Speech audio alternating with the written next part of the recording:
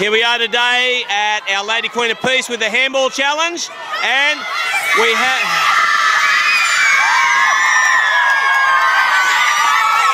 And that's our special message for the Paralympians.